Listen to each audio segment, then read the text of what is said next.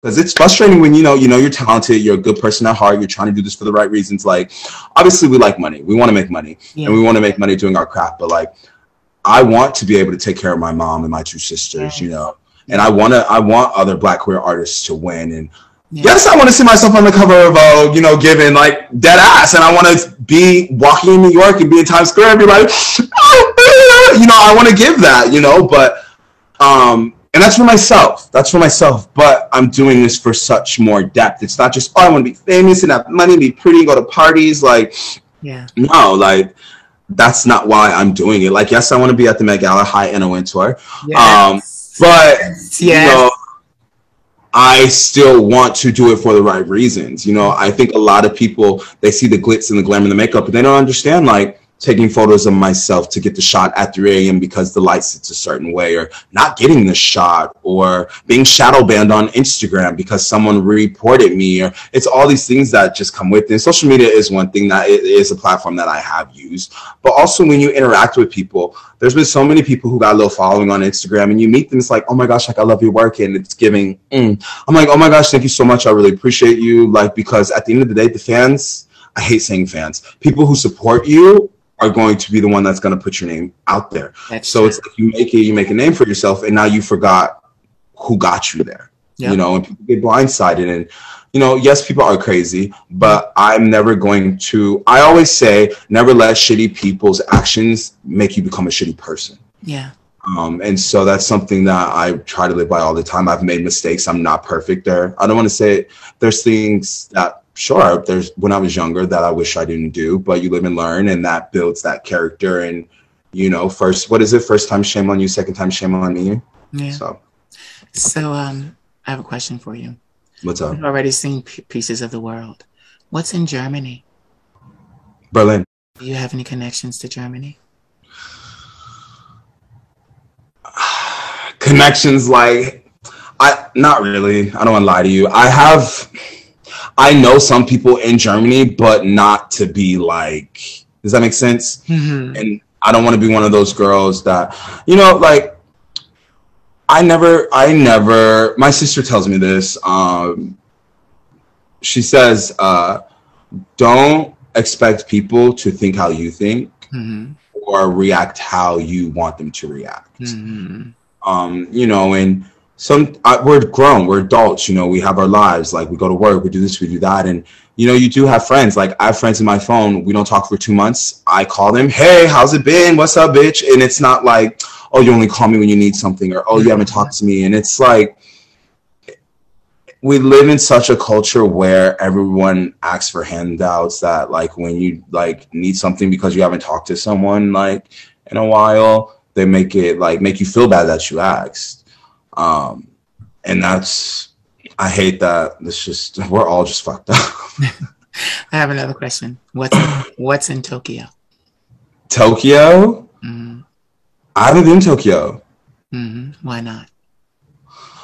Um,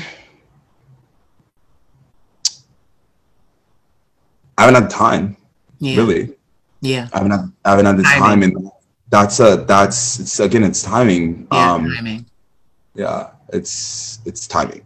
One hundred percent. I want to go back to I want to go back to Europe. I was actually having this conversation yesterday with okay. my friend, and I was saying I want to do like a whole because I've been, I have been a lot of places, but I want to start in like Ireland and do Ireland, London, Spain, Germany, and just knock out like Stockholm, um, uh, the Netherlands, Nor- Norway, like and knock out just and really just do it. Like my thirties will be. Uh, I just want to travel more. I have been very fortunate that I have been able to travel, but I worked very fucking hard to give myself that type of lifestyle. Right now, I do want to kind of settle in more, especially just getting older and um, having been a lot of places that also does pull into the queer cowboy aesthetic. So, mm. you know, when things slow down, because I started a new job, and so when things start uh, start slowing down, I'll probably look to go travel more and like just take two months and just do it. Yeah. So. You know, when I was a young aspiring model at uh, 21 years old, because I was, I started, I started at 19. Um, but what I did um, is what you were talking about. You know, I, like I said, I'm 39 years old. So I'm from a different generation. Um, but what I did was while my grandmother was teaching school and I was her teacher's assistant, I would sit at her little, you know, little Apple computer and I literally emailed modeling agencies all over the world. I submitted photos and wherever I got a yes, I was going to go. And the crazy thing is, I had been told no so much in um, New York. You're too thin. You're beautiful. You have the look. And I'm like, what the fuck does that mean? You have you're the look. Thin? no, they would tell me you have the look, but you are too mm. thin for New York. Yes, New York yeah. is all about the blonde hair, the big, you know, the cowboy, basically the cowboy, the the the midwestern look the guy is working in the fields all day and plowing a tractor and stuff like that, that way, that kind of thing. So I remember just putting my feelers out. And I remember going to New York one last time and I went to Boss Model Management and the director at that time pulled me out of line. And you know what I noticed about that line? They were all predominantly black and Latin models trying to get signed. Yeah. Not, very, not very many whites. On the days where, you know, they had open calls, it was mainly blacks and Latins trying to get in. Yeah. And and I noticed that. You like I I don't want to I don't want to put that out there, but mm-hmm. I this is again something that I thought of like if I was white, fully tatted and gay queer cowboy. Mm-hmm where would I be? You know, and I don't like thinking negative like that. Mm-hmm. But again, it's, it's, not negative. That's just a realization. Like you said, you said it earlier yeah. in this, and you said it in this interview. It's not you. It's what's been placed on you. Yeah, and it's like any black, anything has to try twice as hard, and it's yeah. like, as I get older, you know, I don't because I don't like putting negative anything out because mm-hmm. it attracts, but being just a real a realist. Mm-hmm. Uh, and you see it. You see the statistics on social media. You know, like Instagram is a huge platform. You know, I've gotten mm-hmm. a lot of gigs. I've been able to travel the world because of Instagram. So mm-hmm. say, "Oh, social media isn't a big deal." It is. It is doing it for the right reason. Like, obviously, it's a facade. Obviously, you know, like sometimes I just put on an outfit just for a picture, and that's mm-hmm. just part of my artistry. It's not necessarily I'm going anywhere, but so what? We all do it. Yeah. But it's the opportunities. Mm-hmm. You know, if someone said it on Instagram, this porn star, he was like, it's really sad that people of color, you know, they run laps. This is this is by the way, this is a white porn star who has said this. He said it's really sad that people of color have to they run laps with dick, body, ass content on Tumblr, on Instagram, but you get like a white twink who's shirtless and he gets 15,000 likes and this like stunning Adonis black man gets like 300 yeah. and it's like if if everyone's beautiful and you find everyone attractive then feel that you know if a lot of people do go off the likes in the comments you know and not mm-hmm. everyone is strong minded you know and if if someone takes a picture and they get 50 likes and then they follow someone who's getting more likes you start comparing yourself and it's like oh well am i not beautiful because i'm not getting the likes and mm. it's this is it's, not our country.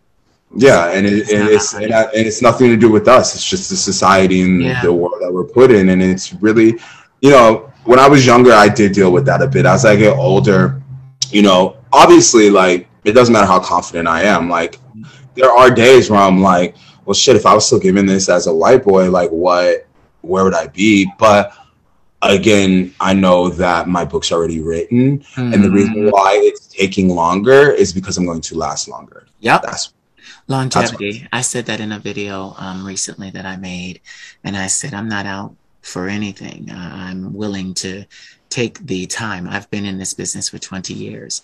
I've heard a lot of no's. I started at 19 and I've mm-hmm. heard a lot of no's. I got the opportunity to sing for A&Rs. I had an A&R. I was going to sign with a major record label.